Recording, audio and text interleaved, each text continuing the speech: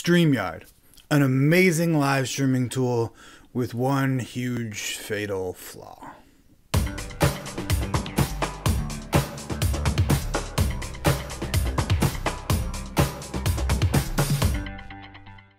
Welcome to Mina Studio. My name is Nathan. With me, as always, is my tech director, Ronald. It's kind of dark back there. Here he is, Ronald. Yeah, he's a he's a Stegosaurus. So today we're going to talk about StreamYard. And if you don't know, StreamYard is a online live streaming tool, like an online encoder for you to use. Basically, think of like OBS and Zoom put together online. But let's start with a story. So, about three weeks ago, Cameron Preston and myself, Cameron and Preston are the authors of The Soul Felt Its Worth. We were about to do a live stream. Uh, we, I was using OBS and I was using NDI and Skype to bring them into OBS, and everything fell apart. It just went terribly. We started the live stream, all of the audio was unhearable because of these echoes, because of the NDI update, I think. I don't know. So we did this live stream and it was completely unusable. I had to delete it, which is unfortunate. So we needed to find another way that we could continue to do these live streams. They're in Oklahoma, I'm in St. Louis, so we're doing all this virtually. We're not here in person together. So we signed up for StreamYard. So StreamYard, as I said, think of OBS and Zoom put together. Basically an online live streaming tool, an encoder, a broadcast studio, they call it, where you can bring in guests from other areas, put you all on the screen, you can hear each other, you can talk to each other, and then you can live stream that out to different platforms like YouTube and Facebook and whatnot. So we did our next broadcast with StreamYard, and I will say it went flawlessly. So let's take a look at StreamYard. I'll show you what it is, how to use it, what it can do, what it can't do, and then we'll talk about that thing I said at the beginning. So once you log into StreamYard, this is the first thing you'll see. I don't have any broadcasts created yet, but we'll go ahead and create one. So you have your past broadcasts. These are the ones we've done previously. And then our upcoming broadcasts. So we'll create a broadcast, and then you can select all the channels that you want it to go to. So these are the channels we've already entered. You have to enter your own channels, of course. We have a Frank Voices Facebook page, that's the writers. Then we have Reawaken Hymns Facebook page, that's me. Then we have my YouTube page. So we stream to all three of those at the same time two Facebook pages and a YouTube page. And it works really well in that regard. So right now I'm just going to select my YouTube because this will be just be a private stream. So it's private so nobody can see it. Then we'll add a description. And you can have it stream out right now or schedule for later. I almost always schedule for later so I can kind of promote the event in different places. Um, so you can upload a thumbnail and set the time, and then it'll create that event for you on Facebook and YouTube and any other uh, platform you're streaming to. Right now, I'm just going to stream uh, immediately, so I won't schedule for later. So let's create that broadcast. Now it's taking me into the broadcast studio. All right, you can see my webcam comes up there. Um, you can turn off your cam and mic to start. I haven't actually entered the broadcast studio yet, or that little settings panel is where you actually customize. Uh, you can pick which camera you're using, which microphone you're using. Type in your name, that'll be shown right under your uh, video like that, and then enter broadcast studio. And here we go. Now we are in the broadcast studio. Obviously, I'm not in the stream yet, so you need to click this add stream, and now I am in the stream. Now let me add another camera to the stream. One of the cool things about StreamYard is it's very easy to bring in guests who aren't on your account. Uh, you just hit this invite button here at the bottom, then it'll give you a link uh, that you can send out to people. They click on that and it'll bring them straight into the studio. So I'm going to actually send that link to myself and that way I can bring in my iPhone. As you can see there, there's that link. So they just click on that link and it will take them to the broadcast studio on whatever device they're in. They can use their mobile phones, their iPads. All right, we'll give Ronald his own camera now. So you can add the guest to the stream here at the bottom, or they can add themselves. So I'll click add to stream. And now you can see we have both of us. So once you have more than one camera, you can kind of adjust where the cameras are on the screen, those are those buttons down here. So there's mine full screen, there's both half screen, there's our full pictures. So one of the things I wish you could do on StreamYard that you cannot is manually adjust the size and positioning of the cameras. You cannot do that. I think for most people that's good, so it doesn't get messed up. They can just click those buttons on the bottom, but coming from OBS, I really like to customize as much as humanly possible. And that's one of my issues with this in general is it's not fully customizable. No, I don't think that's what they were going for. I wish it was, but I think for most people, it's probably a good mix of customizable but still easy to use. So you can't manually adjust where those are, but you can use these buttons here at the bottom to have a couple different options.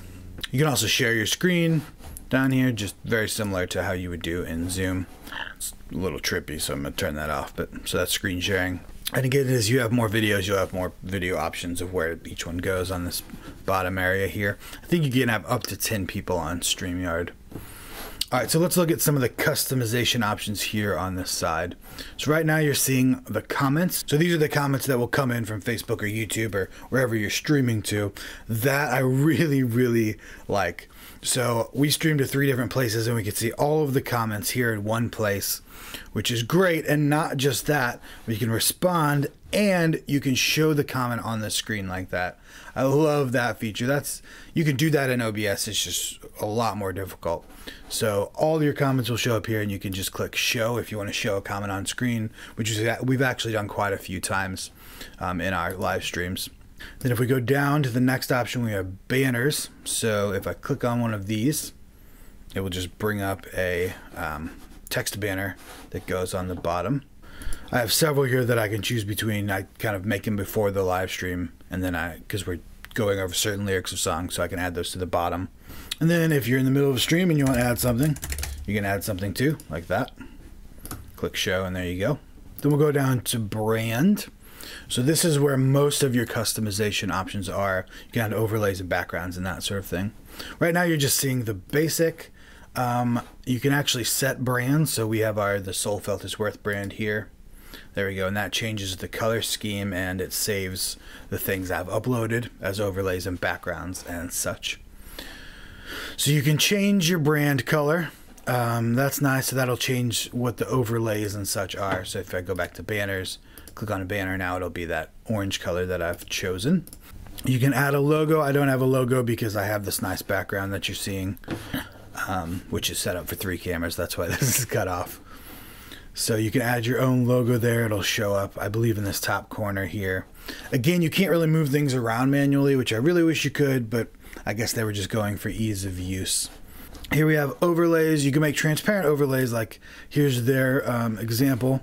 So you can make a transparent overlay if you just want a couple things like this to pop up. I haven't made any transparent overlays. I've just done full overlays like this. Um, it was just easier to add the picture to the same background and then it looks like it's just popping up, but it's actually a full screen image. So you can see like that. So these are the overlays we have. It's just a black one. Uh, pictures. I do have a transparent one here. This is a Spotify code for the album. So that I had to make a transparent 16 by 9 image and then add that. Uh, had to make that in another program. I couldn't just bring that in like that. I had to make a full screen transparent image and then put that in the corner of it, if that makes sense. Um, you can also add video clips, which we use a lot because we're talking about um, lyrics in these specific songs that we've recorded. Um, it's also how I put a countdown on our videos. Unfortunately, uh, there's a 100 megabyte limit to the videos, which for most people is fine, but when you're trying to make a five minute countdown that features a song with drone footage in the background, getting to 100 megabytes can be really tough. Um, but I was able to get it down using the Handbrake app. So you can see here our countdown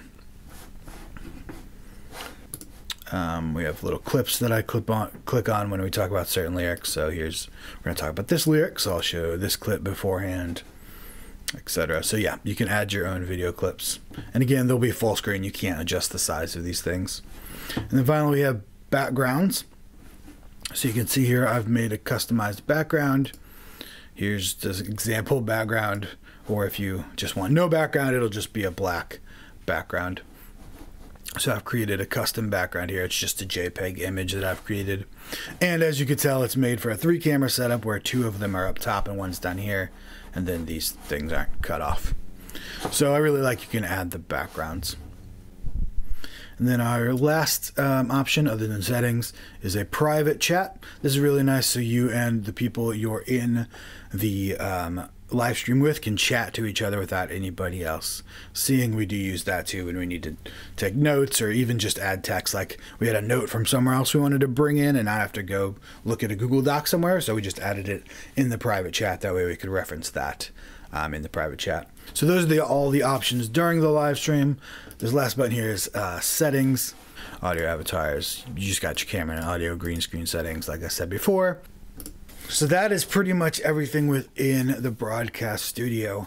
Um, as I said, not fully customizable, which I would love, but I do understand why they didn't do that because I think this is kind of targeted towards people who aren't necessarily professional video people, but are professionals who want to live stream with other people easily and still be able to customize. And for that purpose, it's very good. And I would imagine the customization options you have would be great for 80 to 90% of people who want to use this sort of thing. Uh, most importantly, it seems to work flawlessly when we're doing it in OBS, we're using Skype and we're bringing in NDI and we've got to mute this channel and have this channel on and take off the monitoring and we have to make sure we're all wearing headphones on this thing but not on this thing. And it just gets a mess to get it to all work out. This just is, is flawless.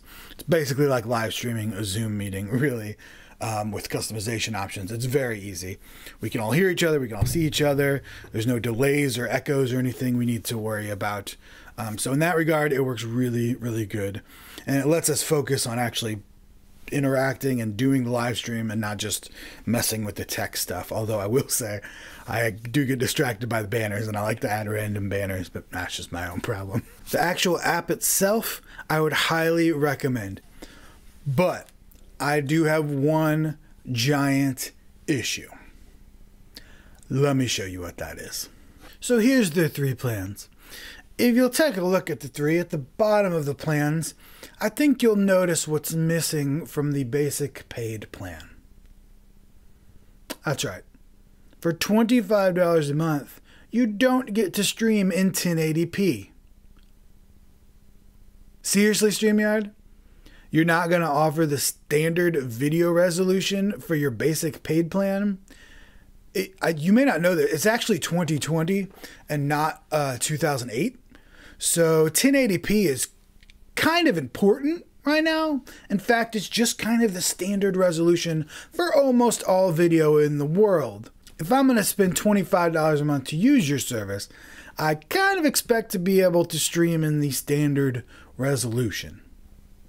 This is so ridiculous. Seriously, this makes me angry. 1080p is not a premium feature in 2020, it's the standard resolution. This would be like me going to a car dealership and buying a car, and they were like, all right, here's your car with the standard package. If you'd like to upgrade to the premium package, we can include uh, that fourth wheel for you. Seriously, this is ridiculous.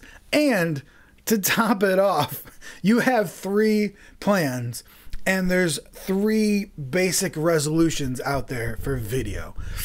How could we possibly divide that up? I know. Maybe we limit our free plan to 720. Our basic paid plan will offer 1080 as the standard. And then if you want to pay for a professional, we'll give you 4K.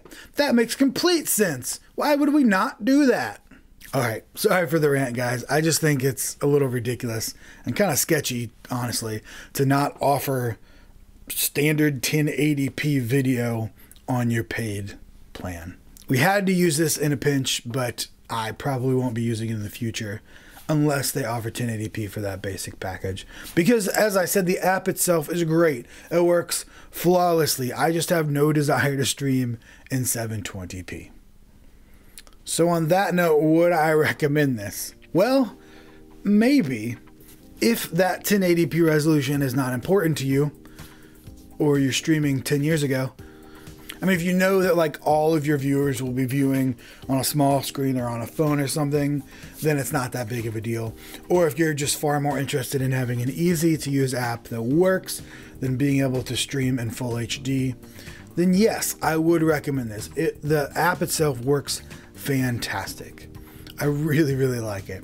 Again, it's just that giant fatal flaw of not having full HD streaming. You'll have to decide for yourself whether that is important to you or not. So that's all I got for StreamYard today. Let me know what you think in the comments. I love to hear about it. And if you enjoyed this video, please hit that subscribe button to see more just like this, although I don't usually have rants like that.